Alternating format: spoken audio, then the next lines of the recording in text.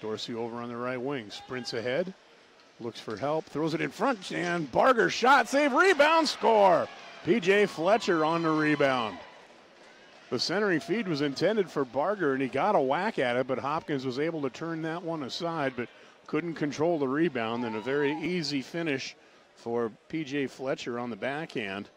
Sends it up high, intended for head. Now in a foot race, chasing after it's going to be Stratton. He's in, he shoots, and a save made.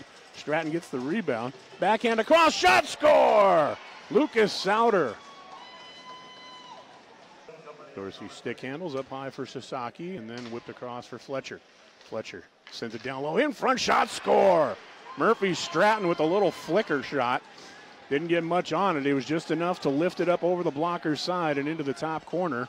Power play tally for the Wild, and they now lead it three to one. Reifenberger had it roll off his blade, but recovers. Arnold sends it down low to Tellier. Tellier, side of the net tried to muscle it home. No dice. There's a shot score! From the left boards, Tellier was cycling around and he set it up in the left circle. And from the dot, ripped home by Brandon Cook. Up high to Cook.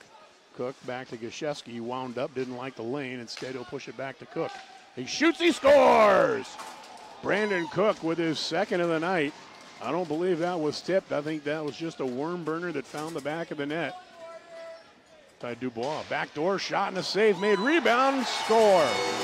Cullen hit it out of midair. Well, Sandquist made the save. Not much you can do.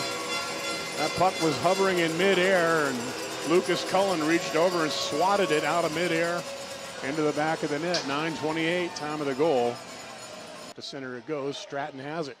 Stratton on the far wing. He's got Arnold driving to the net. Finds a trailer in Sasaki. He shoots, score!